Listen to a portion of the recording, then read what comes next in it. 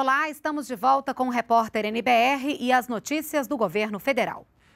A economia brasileira teve retração entre abril e junho deste ano. A queda foi de 0,6% no segundo trimestre, na comparação com o primeiro trimestre. Em relação ao mesmo período do ano passado, a retração foi de 3,8%. No acumulado do ano, a atividade econômica desacelerou 4,6%. Em valores, o PIB foi de um trilhão e meio de reais. Os dados foram divulgados agora há pouco pelo IBGE. O PIB é o indicador que soma todas as riquezas geradas pelo país. As previsões divulgadas já indicavam que o resultado seria negativo. Mas para o ano que vem, os economistas do mercado financeiro preveem a retomada do crescimento da economia. Veja os principais destaques. Segundo o Ministério do Planejamento, foram concluídos 365 quilômetros de rodovias. No setor de infraestrutura energética, o governo destaca o início da operação da usina hidrelétrica de Belo Monte. Foram instaladas ainda mais de 4 mil quilômetros de linhas de transmissão. A exploração e produção de petróleo e gás também foi ampliada. No primeiro semestre de 2016, foram perfurados 28 novos poços, sendo que 12 já estão concluídos. E o programa Minha Casa Minha Vida entregou 857 mil unidades habitacionais. Em urbanização e assentamentos precários, o PAC realizou ações em 202 municípios, beneficiando 100 mil famílias. O programa deu continuidade ainda às ações de saneamento básico. Houve instalação de água potável em áreas urbanas em 354 municípios, atendendo 5 milhões e 100 mil pessoas. Em mobilidade urbana, vale destacar o funcionamento do VLT Rio e da linha 4 do metrô, no Rio de Janeiro.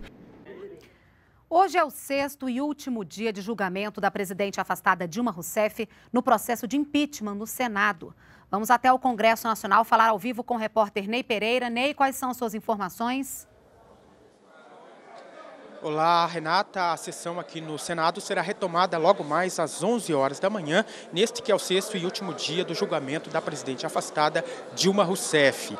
Antes da votação, dois senadores a favor do impeachment e dois contra poderão falar por até dois minutos cada um. A votação é aberta, nominal e eletrônica. Ao abrir a votação, o presidente do Supremo Tribunal Federal, ministro Ricardo Lewandowski, que também conduz o processo do impeachment, vai perguntar aos senadores se Dilma Rousseff cometeu crime de responsabilidade e se deve ser condenada à perda do mandato e ficar inabilitada para exercer qualquer cargo público pelo prazo de oito anos. Dilma Rousseff será afastada definitivamente se ao menos 54 dos 81 senadores votarem a favor do impeachment. Caso contrário, ela retorna ao cargo. Eu volto com você, Renata. Obrigada, Ney, pelas suas informações. E do Congresso Nacional, vamos ao Palácio do Planalto saber os detalhes da agenda do presidente em exercício Michel Temer. Oi, Gabriela.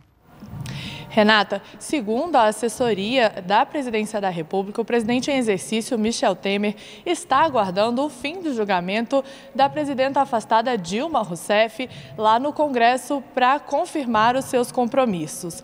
É, é se confirmado o afastamento, o presidente Temer deverá ir ao Congresso para tomar posse. É possível também que o presidente eh, se reúna aqui no Palácio do Planalto com ministros e depois, em seguida, né, siga, pra, eh, siga em viagem para a China para a reunião do G20, que vai reunir aí as maiores economias do mundo.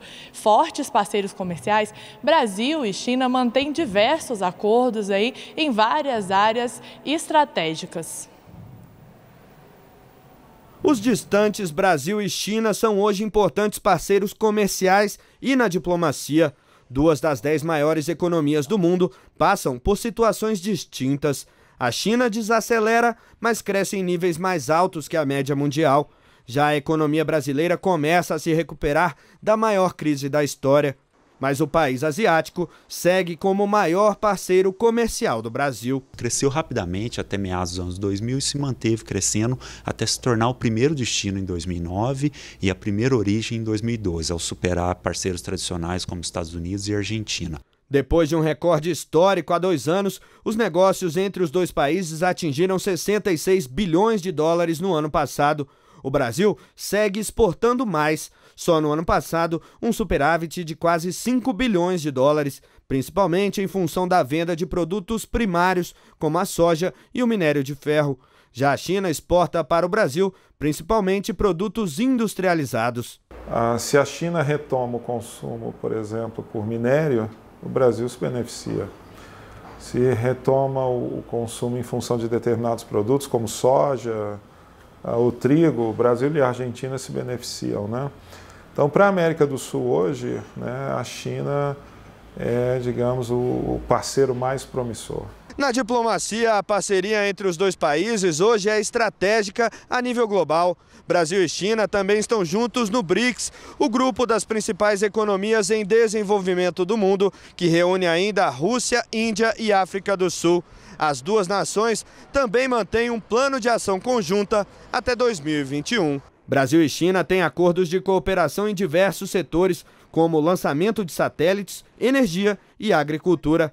E a ideia é aproveitar a viagem da delegação brasileira à China durante o G20 para construir novos entendimentos. Conversei com o presidente sobre um memorando que nós vamos assinar com o Ministério da Indústria e Comércio da China, o Ministério de Comércio da China, que é um memorando de entendimento para a cooperação na área de serviços, comércio de serviços. Você sabe que serviço representa hoje é, 58% do PIB nacional. Para o Ministério da Agricultura, há espaço também para avançar no agronegócio. A gente acredita que o agro é a forma mais rápida do Brasil sair da crise e da, do pouco crescimento econômico que nós temos atualmente. E ainda hoje o Congresso vai, o governo vai entregar o projeto de orçamento da União de 2017 lá no Congresso. Os ministros Henrique Meirelles eh, da Fazenda e Diogo Oliveira do Planejamento que devem fazer essa entrega aí lá no Congresso. E lembrando que nas últimas semanas o ministro da Fazenda tem dito que o teto para os gastos públicos já deve ser aplicado no orçamento do ano que vem. Renata. Obrigada, Gabriela, pelas suas informações. Bom, e termina hoje o prazo para sacar o abono salarial. Até ontem, um milhão de trabalhadores com direito ao benefício ainda não haviam feito saque. Tem direito ao abono no valor de um salário mínimo quem trabalhou por pelo menos 30 dias com carteira assinada e teve salário médio de até dois salários mínimos em 2014. Além disso, é preciso estar inscrito no PIS-PASEP há pelo menos cinco anos e ter tido o nome informado pelo empregador na Relação Anual de Informações Sociais, a RAIS. Bom, e nós ficamos por aqui. Podemos voltar a qualquer momento com outras informações ou às 11 da manhã na próxima edição do Repórter NBR. Você pode acompanhar também as novidades em nossas redes sociais. Obrigada pela sua companhia e continue com a gente aqui na NBR, a TV do Governo Federal.